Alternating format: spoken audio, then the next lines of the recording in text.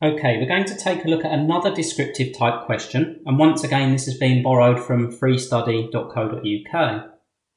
Now the starting point again is to produce a sketch of the scenario so that we can determine which of the terms in the Bernoulli's equation we can neglect. So let's go through the question, extract the information and produce a rough sketch. It begins by saying a pipe carries oil of density 800 kilograms per metre cubed. So we have the density of our fluid, rho, as 800 kilograms per metre cubed.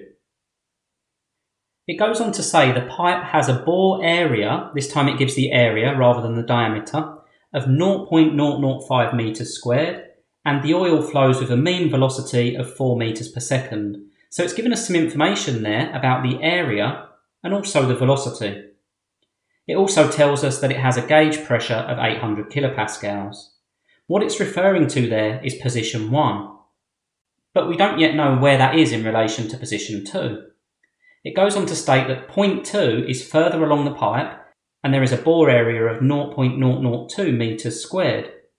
So we've got a reduction in area and the level is 50 metres above point 1 and it wants us to calculate the pressure at point 2. So what we can establish from the question is we have a pipe where the bore area reduces and in addition to the bore area reducing, we have an elevation. Point 2 is 50 metres above point 1. So let's start with point 1 at the bottom. We have an elevation to point 2. And the other thing that we know is the bore area reduces, like so. Again, it's just a rough sketch we know that point 2 is 50 metres above point 1. So if we add a dashed line to our centre line, then we know that this distance here is 50 metres. We have a change in elevation.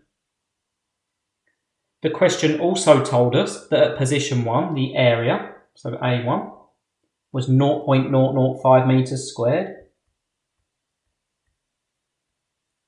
That's already in SI units and it has a mean velocity, u1, at that point of 4 meters per second. We're also given the pressure at position 1 of 800 kilopascals.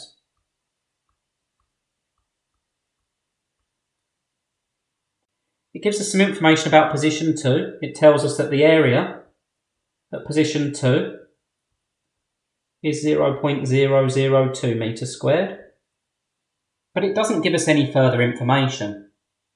It doesn't tell us the pressure at point 2 because that's what it wants us to calculate, and it doesn't tell us the velocity at point 2. But we're going to need to determine the velocity at point 2 in order to calculate the pressure at point 2. The other thing that it tells us is that we can neglect friction. It tells us that right at the end of the question there. So first of all then, let's see what terms we can get rid of we have the Bernoulli's equation at the top. Moving from left to right, P1, well we have a value of P1 given, so we can't lose that term. Next we have the term rho GZ1. Well if we use position 1 as our datum, then the elevation of position 1 is 0. The elevation of position 2 relative to position 1 is 50 metres, so it makes sense to set Z1 to 0, so we can get rid of that term. We then have rho u1 squared over 2 and we have a value given for u1. Moving to the right hand side, the question wants us to calculate P2, so we need to keep that term in. We have rho gz2, well we have an elevation at position 2 relative to position 1, so we need to leave that term in. And we have rho u2 squared over 2, well we have a velocity at position 2, so we need to leave that term in. It does tell us that we can neglect losses, so we'll lose PL. So one of the first steps here is to calculate U2. We need to calculate U2 before we can calculate P2. And we can use the continuity equation for this, because we know that U1 A1 equals U2 A2. Now from our question, we were given values for A1 and A2, and we was given a value for u1. So let's rearrange this formula to make u2 the subject. And to get u2 on its own, all we need to do is divide each side by a2. So u2 is u1a1 divided by a2. And plugging in values, we get u2 equals 4 for u1, 0.005 for a1, and 0.002 for a2 giving us a value of u2 equal to 10 meters per second. So let's add that value to our diagram and then we can calculate the pressure at position 2. Okay, so we've been able to reduce our Bernoulli's equation by cancelling out a couple of terms. So our Bernoulli's equation is now just P1 plus rho u1 squared over 2 equals P2 plus rho gz2 plus rho u2 squared over 2. Now the thing that we're trying to get on its own this time is P2. So we need to subtract two terms from the right hand side. We need to subtract rho gz2 and we need to subtract rho u2 squared over 2. So we can rewrite this. We'll get P2 equals P1 plus rho u1 squared over 2 minus rho gz2 because we're subtracting that from the right hand side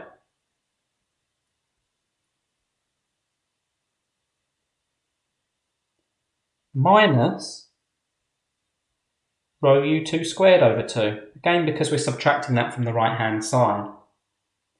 Now it's just a case of plugging in our numbers, because the pressure at position 2 is P1, well P1's 800 kilopascals, or 800,000, plus rho u1 squared over 2, well we have our density, 800, we have u1 as 4, we have rho gz2, so minus 800, times gravity, 9.81, times z2, which is 50 meters. And then we need to minus rho u2 squared over 2. So 800, u2 we said was 10 over 2.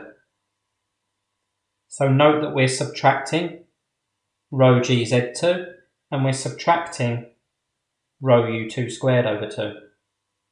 Now running that all through the calculator gives us a pressure at position 2 equal to 374,000 or expressed in kilopascals 374 kilopascals.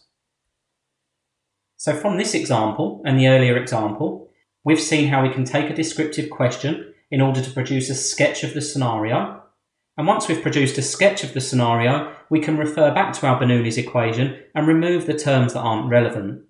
Finally, we can determine the unknown parameters within the fluid system.